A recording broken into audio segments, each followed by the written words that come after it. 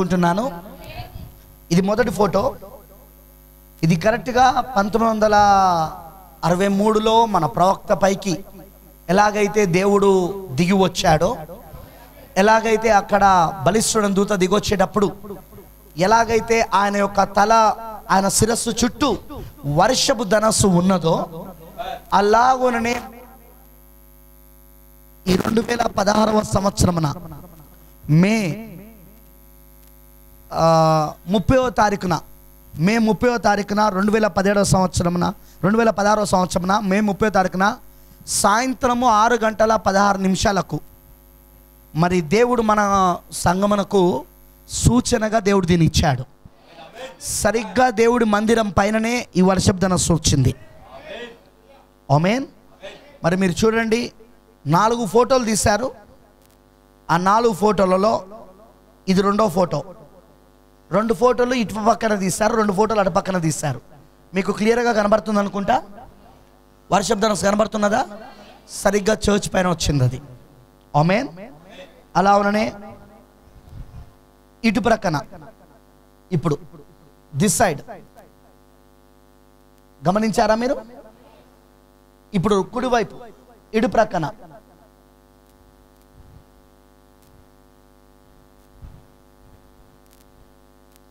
ఇటువైపు రెండు ఫోటోలు తీశారు. మొత్తం నాలుగు ఫోటోలు తీశారు. సరిగ్గా మన మందిరము యొక్క చుట్టూ వర్షపు ధనస్సును దేవుడిచ్చాడు. దేవుడికి మహిమ కలును కాక మరి ఈ సూచన లేఖనానుసరమేనా? ఏ సూచన అయినా దేంతో కలవాలి? దట్స్ రైట్ వాక్యముతో లేఖనంతో కలవాలి. ఏ సూచన అయినా సరే కలైనా దర్శనమైనా సూచనలైనా ఏదైనా సరే అది దేంతో కలవాలి అది? సరిగ్గా అది లేఖనంతో కలవాలి. మరి మన కాలపు లేఖనం ఇదేనా? దేవుడు మనతో నిబంధన చేస్తున్నాడని. మనమే ఆ నిబంధన జనులమని. మనమే ఆ నిబంధన ప్రజలమని. దేవుడు రుజువు చేస్తున్నాడా? హలలుయ అది నిజంగా దేవుడు చేసిన కార్యమేనా? అమేన్ మరి నిజంగా దేవుడు మనకు ఆ సూచన ఇచ్చాడు. దేవుడు ఆ సూచన ఇచ్చింది ఎందుకంటే మనం అందరు చెప్పుకోవడానికి కాదు. No no no no no మనం నమ్మే వాక్యము కరెక్ట్ అని చెప్పడానికి. బృద్బానం ఏమంటాడంటే దేవుడు సూచనలు ఎందుకు ఇస్తాడట అంటే వాక్యం వైపు చూపించడానికి. ప్రాఫిట్ గారు అన్నారు వాక్యం వైపు చూపించడానికే దేవుడు సూచనలు ఇస్తాడు. అంతేగాని సూచన వైపు చూడడానికి కాదు. అయితే సూచన వలన మనకు వచ్చే బలం ఏంటిదంటే మనం సరియైన వాక్యములోనే ఉన్నాము. దేవుడు మనని సరియైన వాక్యములోనే పెట్టుంచాడు. అనే రుజువు దేవుడు మనకు చూపిస్తున్నాడు. మరి రెండు వేల పదహారులో మే ముప్పయో తారీఖున సాయంత్రం ఆరు గంటల మీరు గమనించారా? ఇది వచ్చింది కూడా సాయంత్రమే. ఆరు గంటల పదహారు నిమిషాలకు సరిగ్గా తూర్పు వైపు. ఇది తూర్పు. మనది ఇది తూర్పు. ఇది పశ్చిమం. తూర్పు వైపు దేవుడు ఆ సూచన ఇచ్చాడు మనకు. సరిగ్గా చర్చ్కే. మీరు గమనించండి అది సరిగ్గా చర్చ్ మీదనే ఉన్నది. అమేన్ మరి దేవుడు ఈ సూచన మనకి ఇచ్చాడు అంటే ఏదో దేవుడు మాట్లాడుతున్నాడని అర్థం కదా? ఎందుకంటే ప్రతి సూచన వెనక స్వరం ఉంటుంది. అవునా? ప్రతి సూచన వెనక ఏముంటుందండి? స్వరం ఉంటుంది సో ఈ సూచన వెనుక స్వరం ఉన్నదా. ఉన్నది అదే ఈ కాలపు వర్తమానము. ప్రకటన పది. What is the message of the ఆవా ఈ గడే యొక్క వర్తమానం ఏమిటి? ప్రకటన పది. మనమందరం ఇప్పుడు ఎక్కడున్నాము? ప్రకటన పదిలో ఉన్నాం మనం ఇప్పుడు. అవునంటారా ఆ బలిష్ఠుడైన దూత దిగొచ్చిన కాలంలో ఉన్నాము. ఆయన కుడి చేతిలో ఒక పుస్తకమును పట్టుకొని వస్తున్నాడు. మరి ఆయన ఏడు ఉరుములు ఉరుముతూ వస్తున్నాడు ఆయన. ఆయన దిగొచ్చేటప్పుడైనా ఏడు ఉరుములు ఉరిమినవి? ఈ ఏడు ఉరుములు పరలోకములో కాదు ఉరిమినవి. ఆయన భూమిపైకి దిగొస్తున్నప్పుడు ఉరిమినవి. ప్రైజ్ లాడ్ హలలుయ ఆ ఏడు ఉరుముల యొక్క వర్తమానం ఇప్పుడు అది పరలోకంలో కాదు వినబడుతున్నది. ఆ ఏడు ఉరుముల యొక్క వర్తమానం ఇప్పుడు ఎక్కడ వినబడుతుందో తెలుసా? భూమి పైన వినబడుతున్నది అది. ఏ మ్యాన్ హలలుయ మరి ఆ ఏడు ఉరుముల వర్తమానము మనం కలుగున్నామా?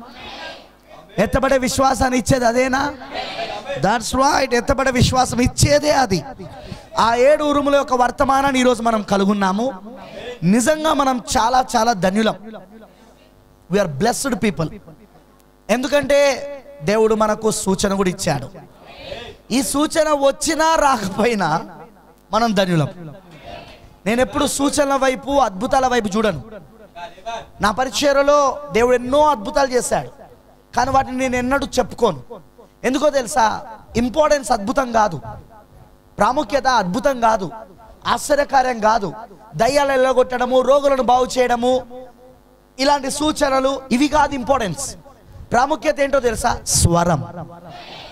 దేవుని స్వరం దేవుని వాక్యం. దేవుడు ఏ అద్భుతం చేసినా ఏ ఆశ్చర్యకారం చేసినా ఏ రోగిని స్వస్థపరిచినా ఏ వ్యాధిగ్రస్తుని బాగు చేసినా ఏ దయ్యాన్ని ఎల్లగొట్టినా దేనికోసం చేస్తాడంటే వాక్యం కోసం చేస్తాడు ఆయన. వాక్యము రుజువు చేయడానికి చేస్తాడు. వాక్యాన్ని నమ్మడానికి చేస్తాడు. అవునంటారా మరి పోయిన వారం గుర్తుందా మీకు? ఓ సువార్త కూటంగా దాన్ని బోధించాను. దేవుడు ఏ యేసుక్రీస్తు ఏ విధంగా తన పరిచయం మొదలుపెట్టాడు? సువార్తతో మొదలుపెట్టాడు. ఆ సువార్తతో ఏమున్నది ఇంకా? స్వస్థతలు దయ్యాలను వెళ్ళగొట్టుట రోగులను బాగు చేయుట అద్భుతాలు చేయుట. ఆమెనంటారా? దానితో నా పరిచయం మొదలుపెట్టింది. కానీ అదేనా ఆయన పరిచయ లక్ష్యం. ఆయన పరిచయ లక్ష్యం ఏంటిది? పునర్ధానం. ఆయన పరిచయ లక్ష్యం ఏంటంటే పునరుద్ధానము ఆయన పరిచయ లక్ష్యం ఏంటంటే ఆ ఆ రూపాంతరపరచుట. అవునంటారా మరి ఆ లక్ష్యాన్ని పెట్టుకొని ఆయన ప్రారంభించడు మాత్రం దేంతో ప్రారంభించాడు? సువార్తతో ప్రారంభించాడు. ఆ సువార్తతో ఏమున్నది స్వస్థతలు ఉన్నాయి అద్భుతాలు ఆశ్చర్యకార్యాలు ఉన్నాయి ఓకేనా? ఆమెనంటారా? కానీ మీరు గమనించాల్సిన విషయం ఏంటంటే సువార్తతో ఆయన పని ముగలే ముగించలేదు. పునర్ధానముతోనే ముగించాడు. అవునంటారా మరి ఆ సువార్త దగ్గర నుండి పునర్ధానం మధ్యలో ఎన్నో కార్యాలు జరిగినాయి. సువార్తతో ప్రారంభించిన ఆయన యొక్క సేవ మొదటి ఇడుపు పరిచర్యతో ప్రారంభించిన ఆయన సేవ మొదటి ఇడుపు ఏంటిది? స్వస్థతలు. అద్భుతములు ఆశ్చర్యకార్యాలు. దాని తర్వాత రెండవ ఇడుపు. హృదయ రాష్ట్రాలు బయలుపరచుట. ఆ తర్వాత మూడవ ఈడుపు. వాక్యమును విరుచుట. ముద్రలను తెరుచుట. శిష్యులకు ముద్రలను తెరిచాడా ఆయన? అనేకమైన మర్మములు బోధించాడా? జనులకు ఉపమానాలు చెప్తే ఉపమానాల యొక్క అర్థాలు తన శిష్యులకు చెప్పాడు. ఇవన్నీ ఎక్కడికి తీసుకెళ్ళినాయి చెప్పండి? పునరుద్ధానికి ఇప్పుడు మనం కూడా అలానే వెళ్తున్నామా? ఆర్ విత్ ద సేమ్ అదే ట్రాక్లో ఉన్నామా మనం? మనం కూడా ఇప్పుడు అదే పట్టా పైన ఉన్నామా? అదే పట్టాల పైన నడుస్తానమా? సువార్తతో ప్రారంభమైంది. ఇప్పుడు మనం ఎక్కడికి ముగించబడబోతున్నామంటే ఎత్తబడుట పునర్ధానముతో రూపాంతరముతో ముగించబడబోతున్నది. వాటి మధ్యలోనైనా ఈ కార్యాలన్నీ జరిగేది? ఎందుకంటే యేసుక్రీస్తు పరిచర్య మొదటి రాకలో ఎలా జరిగిందో రెండవ రాకలో కూడా అలానే జరగాల? ఎందుకంటే అక్కడ మనిషి కుమారుడే ఇక్కడ మనిషి కుమారుడే. అక్కడ ఇజ్రాయలులకైతే ఇక్కడ ఆత్మీయ ఇజ్రాయలులకు. నవ కుమారుల్లోనే అక్కడ ఇద్దరు కుమారులకైతే. ఎవరెవరు? షేము యాపేతు. అవునా? షేము యాపేతు సంతానానికి అక్కడైతే మొదటి రాకల్లో అయితే హాము సంతానానికి రెండవ రాకల్లో. ఇప్పుడు అదే పరిచర్య జరుగుతున్నదా? ఎస్ అదే పరిచర్య జరుగుతున్నది. ఇక ఇది దేంతో ముగించబడుతుంది ఈ పరిచర్య? వినబడతలేదు నాకు. పునర్ధానముతో ముగించబడుతుంది. ఎత్తబడుతో ముగించబడుతుంది. కానీ ఎత్తబడి లోపల ఏం జరుగుతున్నది? దేవుడి మర్మాలు విప్పుతున్నాడు.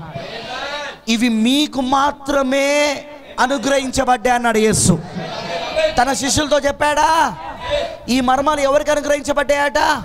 మీకు మాత్రమే అన్నాడు. ఎవరు వాళ్ళు మీకంటే? వాళ్ళే శిష్యులు. వాళ్ళే ఆయన చేత ఏర్పరచబడిన వాళ్ళు. యేసు వాళ్ళని ఏర్పరచుకున్నాడా? అమేన్ సో ఏర్పాట్లో ఉన్న వాళ్ళకు మాత్రమే మర్మాలు బయలుపరచబడతాయి. మర్మములు మనకు విశ్వాసాన్ని కలిగిస్తాయి. దేవుని ప్రణాళిక మనకు తెరవబడుతుంటే దేవుని మనసు మనకు అర్థమవుతుంటే ఆయన మనల్ని ఎంత ప్రేమించాడో మనకు అర్థమవుతుంది. మన గురించి ఆయన ఎంత పెద్ద ప్రణాళిక వేశాడో అర్థమవుతుంది. మనల్ని ఎలా ఆయన సిద్ధపరుస్తున్నాడో అర్థమవుతుంది. అవునంటారా ఇవన్నీ మనల్ని ఏం చేస్తున్నాయంటే ఎత్తబడులకు సిద్ధపరుస్తున్నాయి. ఏ మ్యాన్ హలలుయ కాబట్టి ఈ సూచన వచ్చినందుకు మీకు సంతోషంగా ఉందా?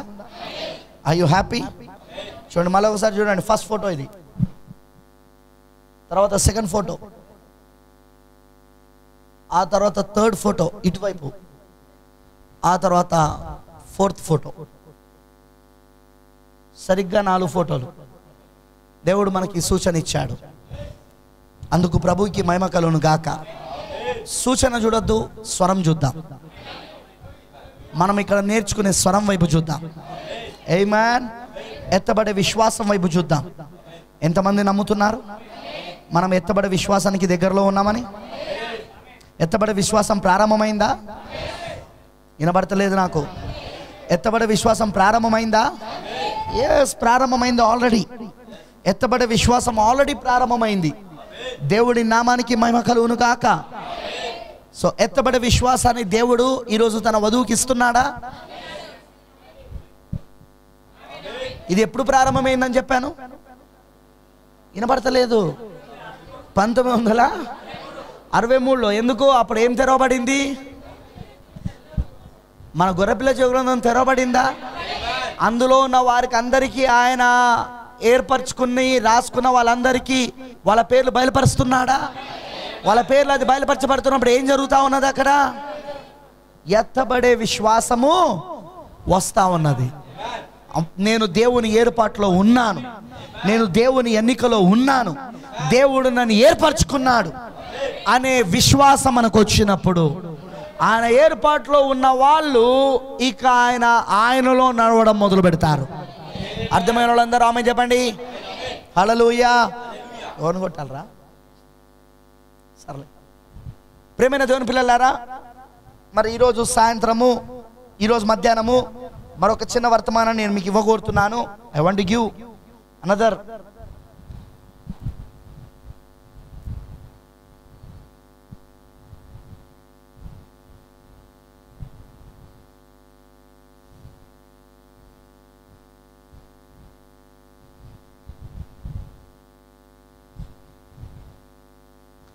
మనమందరం పరిశుద్ధ గ్రంథంలో నుండి ప్రసంగి గ్రంథం.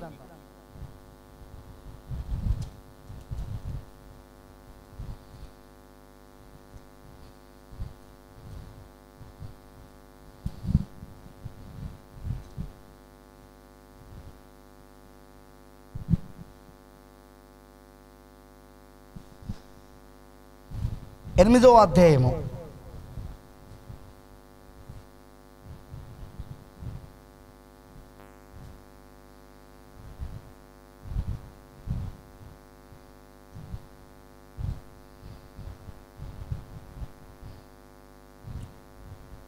తీసారా ప్రసంగి గ్రంథము ఎనిమిదో అధ్యాయము ఒకటో వచనమును మనం చదువుకుందాం. ఒకటో వచనమును. జ్ఞానులతో సములైన వారెవరు? జరుగు వాటి భావమును ఎరిగిన వారెవరు? మనుషుల జ్ఞానము వారి ముఖమునకు తేజస్సునిచ్చును. దాని వలన వారి మోటుతనము మార్చబడును. అలానే తొమ్మిదో అధ్యాయం ఒకటి వచ్చినాం అదే గ్రంథంలో తొమ్మిదో అధ్యాయం ఒకటి వచ్చిన. నీతిమంతులను జ్ఞానులను వారి క్రియలను దేవుని వశమున సంగతిని స్నేహము చేయుటైనను ద్వేషించుటైనను మనుషుల వశము లేదన్న సంగతిని అదంతయు వారి వలన కాదన్న సంగతిని పూర్తిగా పరిశీలన చేయుటకై నా మనస్సు నిలిపి నిదానింపబూనుకుంటుని. సంభవించినవి అన్నీయు అందరికీ ఏకరీతిగానే సంభవించును.